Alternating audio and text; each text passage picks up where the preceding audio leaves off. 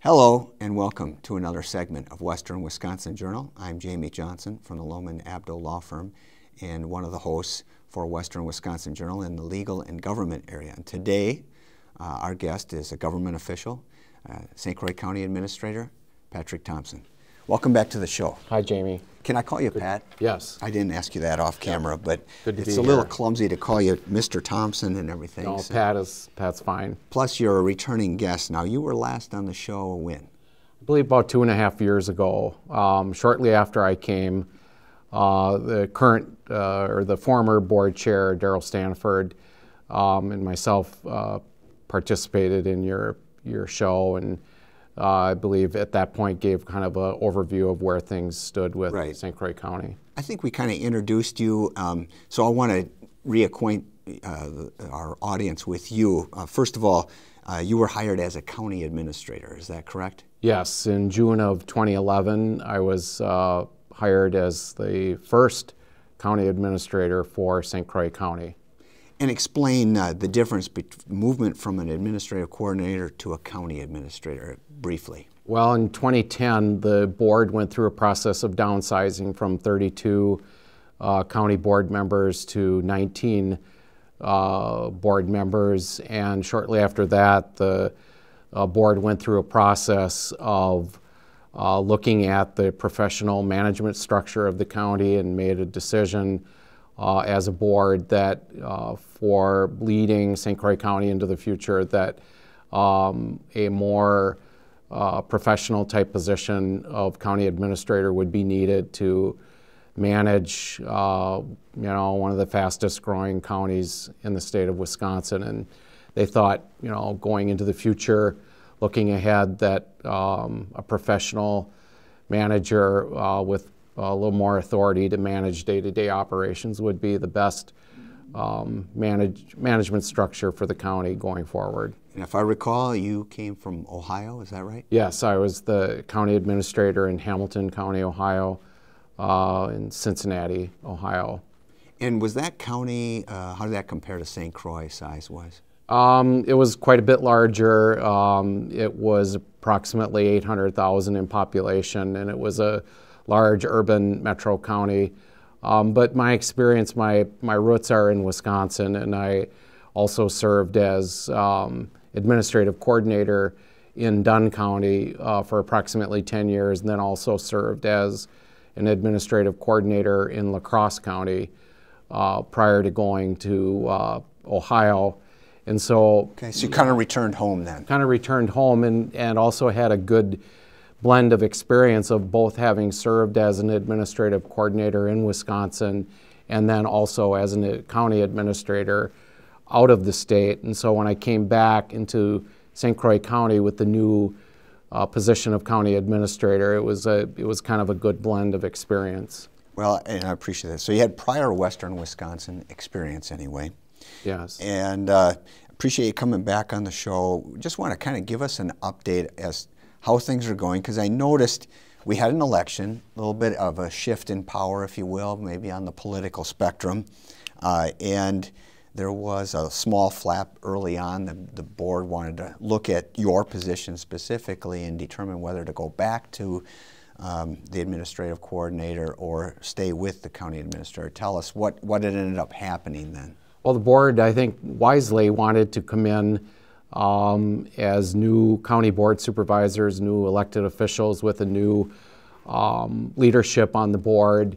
And I think it was, um, we had been with the county administrator form of government for only three years at that point. And so I think the new board wisely wanted to come in and look at how things were being managed. Um, and whether or not the county administrator form of government was the, the right form of government for St. Croix County. And so uh, the board came in and, and looked at this very closely and uh, made the decision then that yes, the county administrator form of government is um, serving St. Croix County well and will continue to into the future. And so the board made a decision um, that they would retain the county administrator form of governance for St. Croix County. Okay. And you, a fascinating stat with the two elections that have happened since your hire, then it, uh, 17 of the 19 supervisors have been replaced. In a sense, they're new. Yes, yes. Uh, there were um, approximately 10, I believe, in, uh, in the 20 uh, 12 election, and then in 2014, there were another 11 new board members. And so there's been, um, I think there's only two board members now on the board that are uh, the original board members when I first came in June of 2011. And so that has added to an element of change in culture, a change in leadership, a change in philosophy, um, and direction for the county. And so, uh, as county administrator and, and the staff and the team, the management team that we've built, we need to be nimble. We need to be we need to be able to adjust and uh, be responsive to the new leadership on the board. And so, we're here to serve not only the citizens of St. Croix County, but also in my position in the management team that we've built, we need to be responsive and serve our elected officials, the County Board of Supervisors, in the direction that they want to take the county. And so, yes, it's, it's created, created a culture of change, and um, you know that that's all good. That's part of our process. That's part of the democratic process. I would say, and I looked the website, by the way, is just people can Google St. Croix County, Wisconsin, and get lots of information of the various departments. And of course, yours would be administration, and that's where they'll find the budgets from over right. the years, correct? Right. And um, the one that's most recently posted was from 2014, although we just started 2015. And I see that compared to um, expenditures four years ago, um, the county is actually down a couple million dollars. Right. Overall. I mean, our our budgets have been fairly lean over the past few years. Certainly, we've made um, increases in our capital improvement spending. We've developed a five-year capital improvement plan, which had never been done before, and um, we're trying to look ahead and look into the future. And so we're we're trying to right size, you know, the operation, looking at where expenditures most need to be um, directed in terms of transportation funding, our public safety and law enforcement areas of county government, our health and human services, and those areas where we need to be poised uh, to address the, the continual growth in St. Croix County. And so we have to make sure our roads and bridges are able to accommodate the number of uh, commuters that we have in St. Croix County. We want to make sure that our, our uh, infrastructure is solid and so that in terms of economic development, uh, uh our um, transportation infrastructure is very important. And okay. so is our, our public safety and health and human services as well. And um, I guess one of the areas uh, you mentioned all the those are the largest areas in your budget yes. as far as groups, but um, the one that seemed to have a lot of press over the last couple of years is the nursing home. And I noticed that, for instance, in 2010, the spending on the nursing home as part of the county budget was 6.3 million. I understand that was before you came in and it was roughly about that amount then the next year in 2011. But then there's been a shift since then, and now we're down to about 4.2 million of county right. taxpayer funds being used on the nursing home. Uh, how did how did that come about? Right. The the prior board. Um, uh, we weren't too sure with the prior board whether or not the, the thinking or the philosophy, uh, the direction our board was more um, to maintain the status quo and looking at a, a new nursing home facility, a new health center, um, uh, wasn't really part of the, the prior board's um, top priorities. And so uh, we actually went through a process of trying to um, streamline the nursing home and reduce expenditures. We actually reduced the number of beds in the nursing home from approximately uh, 70 plus beds down to about 50 beds all in the, the thinking that the we wanted to make sure, the board wanted to make sure that the property tax levy applied uh, for the health center operations was um, at a, almost a zero levy. And so, through the process of um, trying to reduce expenditures, um, we actually almost brought the health center to a zero levy. Now, the, the plan right now is to take that strong financial position of the health center, which we currently are in, and trying to build for the future and looking at um, the health center needs going into the future. And so currently uh, we have a plan to um, use the uh, existing nursing home and remodel the, the current nursing home 50 beds um, into a 40 bed uh, CBRF uh, assisted living facility. So CBRF community-based residential yes, facility. Okay. Right. In the remodeled current nursing okay. home, and then build an additional 50-bed skilled nursing uh, facility, and then a, adjacent to all this, and, and um, co-located a 10-bed um, uh, dementia care crisis unit. And so it would be a total of 100 beds. Um, so you're actually going up. We're almost. going up. Where it will increase the the footprint of the nursing home facility. Um, it will take us into the future in terms of an assisted living where uh, seniors can um, have a comfortable place to live. And if and when the need arises for more acute care in terms of nursing um, services, that uh, they they wouldn't have to leave there. They could, you know, be part of that additional um, skilled nursing care facility, and then in the you know in the event that they do need senior um, assistance in terms of dementia care, we we want to be able to provide a continuum of care for our um, elderly population in St. Croix County. Okay. We've had two um, referendums on this, and the citizens have spoken that um, senior care is part of the county's mission and to provide that level of service. Um, the plan is in place. We've got architects hired um, that are in the process of developing a design for the new facility. The board has, you know, uh, as recent as this week, reaffirmed their support for the project um, in terms of uh, programming and also a, a, budget going forward. And so the board has uh, reaffirmed their support for this project, and we're we're moving ahead.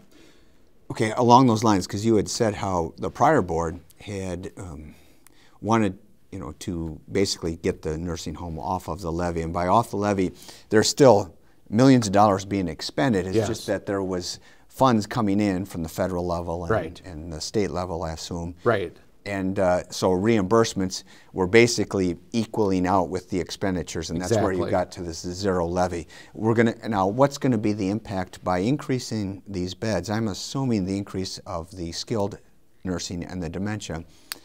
Is there going to be sufficient offsets from aid uh, from the government there, for there, other levels of government? There will need to be um, a certain portion of the funding uh, will will need to uh, be part of our property tax levy. So going forward, there will be some funding for the the 100 bed um, nursing total facility, facility total. Uh, there will be some reliance on the. Do you know, give us a figure what it might be projected to be once? You know, we're still looking at we're still looking at that because we're we haven't really defined exactly what the the program spaces will be uh, for the nursing home facility, but there will be some uh, impact on the property tax levy going forward. But the um, we're being responsive to what what the citizens of St. Croix County are asking for, and that that is um, providing quality care for our senior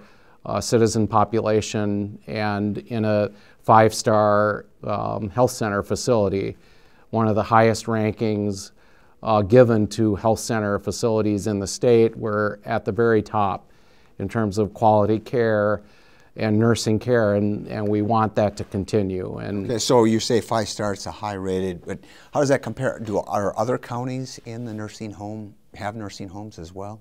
Um, several counties do own and operate um, health center facilities, and so um, some have chosen not to, but uh, there are many, many counties in the state of Wisconsin that still retain uh, health center nursing home facility as part of their core mission, and St. Croix County will continue to do that. Okay, so um, without knowing specific future dollars, we, we do know from the 2014 budget um, that it, that represented anyway 4.2 million total expenditure, but uh, there's some income from that. You have total spending in the whole budget of 68 million. Correct. And you operate on a zero-based budget, so that's you're looking at uh, federal and state aids as being one significant source of funds. Um, then there's, of course, property tax and the property tax levy. Now I see that that has barely ticked up over about a five-year period of time. Um, this year, the total levy went up 5%. It was a little over 5%, right. And, and uh, that's comparable to like um, other forms of government, but the, with the increase in um, the, equalized values of the property right. in St. Croix County actually saw a little bit of a reduction in the mill rate. Right. Our levy, um, property tax levy for the county increased uh, slightly over 5%. We, we try to maintain zero um, level increases in the departmental budgets, but we do factor in allowances for some inflationary increases. Uh, but if we, if we look at the overall growth of St. Croix County, our budgets are, are aligned with that growth in, in the areas where it's occurring um, in transportation, in public safety, in law enforcement, um, and in health and human services. And so, um, as one of the fastest growing counties, our equalized value um, since 2008 is starting to rebound. And so, we're seeing um, we're seeing new construction, new growth, uh, economic development in St. Croix County, and so that growth has been able to absorb uh, some of that property tax levy increase in terms of our increased equalized value and net new construction. And so the actual mill rate uh, for St. Croix County, and that's uh, kind of how it's applied and how, how they look at these budgets. Our mill rate actually uh, saw a very slight reduction in for the 2015 budget. And to give some folks some idea, that's uh, three dollars and ninety-five cents per thousand. Correct. So if a two hundred thousand dollar home, then that would be about eight hundred dollars is going to the county. Right. To fund all of these things: the health and human services, public safety, transportation, and so forth. Yeah. And um, I, you mentioned the equalized value and property values. There was the peak was 2008, as you mentioned, of uh, over 8.7 billion. Then there was almost a two billion dollar drop to 2012, and now just in the last couple years, it's back up to about 7.6 billion count, county-wide. Is that Correct. right? Correct. Yes. I mean, the, it, it, kind of parallels the um, the economy nationwide um, in 2008. That's when it seemed like the bottom fell out in terms of the housing market and the economy. Then in 2008 started uh, um, a decline. And so you will, the uh, equalized value figures that, you're, that you have there reflect um, a, a, national and statewide economy. So it wasn't just St. Croix County that saw um, their tax base eroding. Um, and over the past two years, now we're starting to see that come back. It's not, it's not at the level that it was in 2008 before, um, before it started that decline, but we're starting to see um, uh, good economic development, good, uh, good growth in terms of uh, St. Croix County. We're we continue to experience one of the lowest unemployment rates in this region. Yeah, it's down um, to you had you brought the latest figures down to 2.8 percent as of uh, November, um, just a couple months ago, and uh, that compares favorably to Twin Cities overall 3.0, uh, Wisconsin's at 5.2 statewide, and of course the nation is at about 5.8. Right, and I believe we're around 2.8. So, you know, the, our second lowest in the state, only yes. to uh, Pierce County. So. Correct. So um, those are all strong indicators of St. Croix County's um, economic uh, condition. Um, uh, when we issued some additional debt this past year uh, to fund some of our capital improvement uh, projects, we, we opened up a new facility in New Richmond, Wisconsin to house the Health and Human Services employees. We had to move them out of the uh, the old facility that they were in in New Richmond, which is adjacent to the existing nursing home. Uh, we converted a, a, facility in New Richmond and uh, put some capital improvements into this facility, and now we have our, our Health and Human Services employees, approximately 130 employees, uh, working in New Richmond. We were able to keep them in New Richmond. We thought that was important.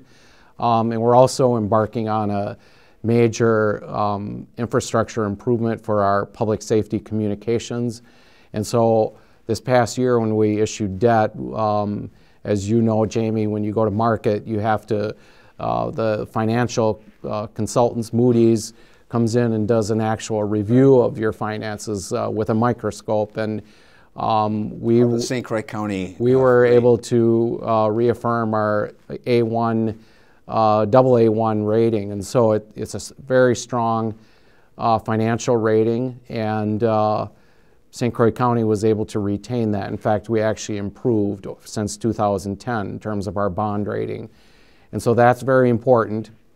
And that's not me looking at the books and saying that that's actually Moody's Investor Service coming in and scrutinizing our finances and reaffirming our strong financial picture here at the county. And so it's a reflection not of what I've been able to do, but what the, the board of supervisors has been able to do in terms of trying to keep those um, finances uh, strong in terms of keeping expenditures low and looking at our revenue stream and the economic development that's occurring in St. Croix County. Those are all positive, strong financial indicators um, to the financial people that look at this. And so we're poised um, for the future. We're, um, our budgets reflect uh, the needs of the citizens and going forward into the, into the future.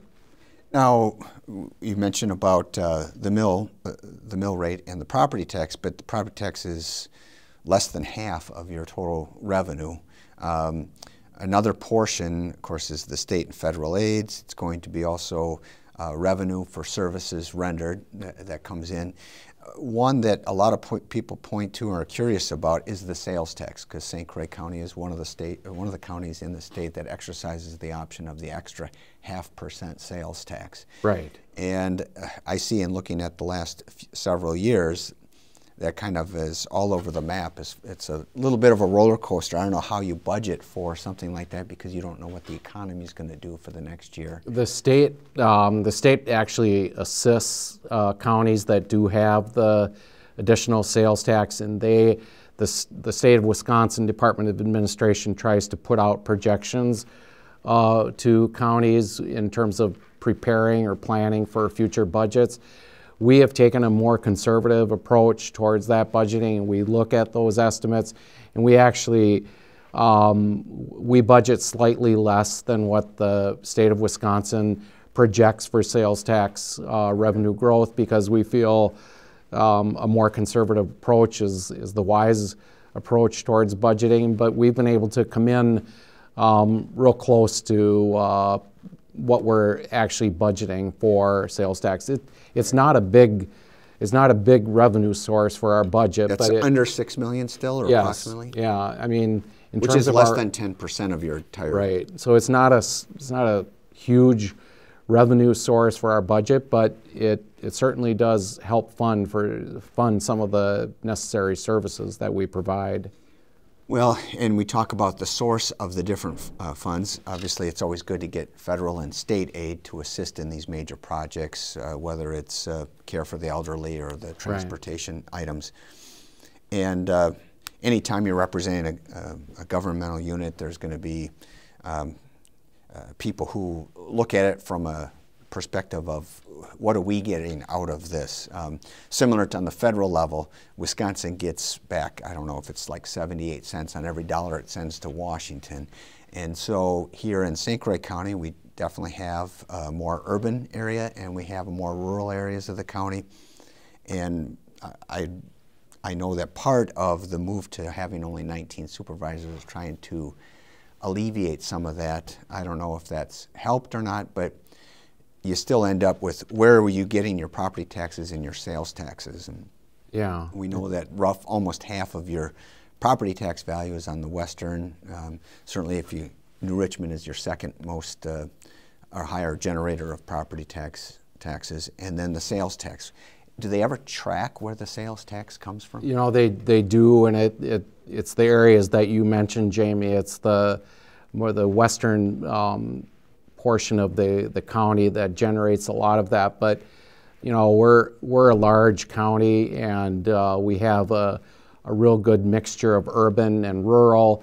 Our uh, agricultural community is strong, and uh, we need to support that uh, that part of the county in terms of the uh, the services and the the, the business that uh, the agricultural community provides, and so we have to make sure um, the that that part of our um, county, that part of our economy is strong, and so that we're serving not only the you know the western side of the county, but also right. uh, the eastern side where a lot of that agricultural community um, exists. And so our county is unique, I think, in some ways to compared to the other counties in the state that we have such a, a strong urban core being that close to the Minneapolis uh, sure. St. Paul metro area, but yet a large part of our county is still rural and agricultural. And so um, well, part of that, sure, you get more taxes and generate more revenue with that increased development, but it also adds more headaches and more uh, greater need for services as well. Well, we have to, we have to, yes, we have to serve um, all residents of our county, no matter, you know, if they're in the, you know, more of the urban areas of the county versus rural, but, you know, uh, we have to make sure that our services are being provided um, equally to everyone in, in the entire county. But that, that's the challenge of uh, county government. You mentioned our funding sources, right. our funding streams in, in so many ways. County services that we provide are services um, that historically the state of Wisconsin uh, provided, but um, county government is in many ways an arm of the state. And so a lot of the services, especially in the health and human services area, um, and some in the judicial um, areas of county government in terms of our courts. Clerk of courts, right? The clerk of court and the judiciary. A lot of those those um, services are state uh, state driven services that we provide at the county level.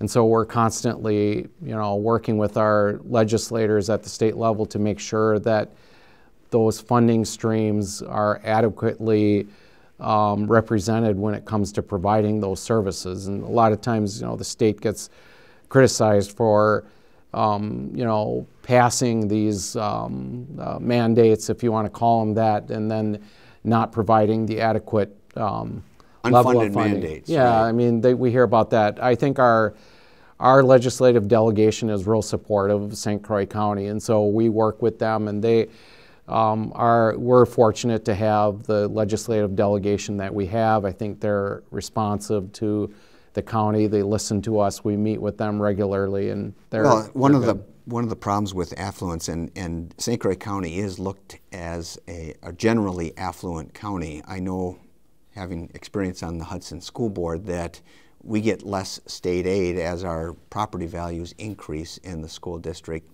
that's one thing they're looking at in Madison and trying to uh, get the aid to where it's seen as being more needed, right. but yet we also have growth in student enrollment, which helps uh, save us. Now, lately, it's leveled off a little bit, and um, but from the county's perspective, overall, that you have to deal with on a daily basis, the projection into the future is growth. And Continued growth. Let's um, talk about that a little bit because I think you have the same projections from the Department of Administration that our school district's been supplied with. And overall, St. Croix County is projected to be either one or two over the next 25 years. Yes, in terms of projected population growth. And um, there again, our budgets need to reflect that going forward. Our, we have to make sure our capital improvement planning and our infrastructure is all able to sustain this growth. Um, you're going to see uh, the Stillwater uh, River Crossing project uh, come on board in 2016 in terms of that uh, the bridge being completed. That will that will drive that will continue to drive that growth. Uh, you'll talk to various economists and they'll try to speculate and look at what kind of impact that bridge will have on St. Croix County. I can only see it um, uh, providing continued growth. I, I don't know exactly, um, the, I, have seen different estimates in terms of pr- trying to provide exactly, uh, you know, specific projections on growth, but I, I know, and I'm not an economist, but I know that that bridge will um, continue to serve St. Croix County in terms of um, its transportation needs, but it's also going to um, result in continued growth, especially on you know in that part of the county. That northwestern that corner. northwestern corner is going to continue to see growth, and so we have to make sure that um, that we have the transportation system in place and uh, public safety. Um, all county services that we provide are going to be impacted by that growth, and we need to be, have strong planning in place and um, and working with our department heads, managers, and making sure that their departments are poised and ready to sustain that level of growth. I think I saw the projections that you referenced as far as uh, demography from state of Wisconsin shows um, Hudson and the New Richmond area kind of growing about the same, you know, in some in excess of 50% over the next 25 years, which still would be less than the last 25 years. And then nobody was projecting that kind of growth that we've had, but uh, um, it's still going to grow and uh, keeping things in in pace. Uh, right. I mean that that's a blessing. I think that we're fortunate to to see that kind of growth, but that has an impact on public service delivery, not only at the school district level that I'm sure you're seeing in terms of uh, the educational needs of our, our county, but in terms of uh, the county and what we're responsible for, um, there will be an impact on our ability to provide those services. And so um, that growth is good, but it comes with a, um, a, a, little bit of a price in terms of uh, the cost for our services. And, but, you know, I believe we're doing a responsible job of budgeting and projecting into the future and not not over relying on the property tax for growth. We're looking at other, you know, ways of funding projects, but um, you know, uh, we feel we're doing a, a pretty good job of uh, budgeting responsibly at the county level. But we have to be prepared for this growth. Okay.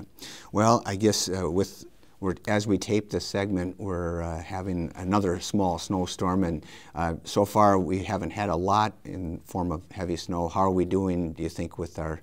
Our highway department budget is looking better than it was last year. If you recall, last year we were. Um, it seemed like we had our snowplows out about every other day in terms of uh, ice and snow. This year has been a little bit different.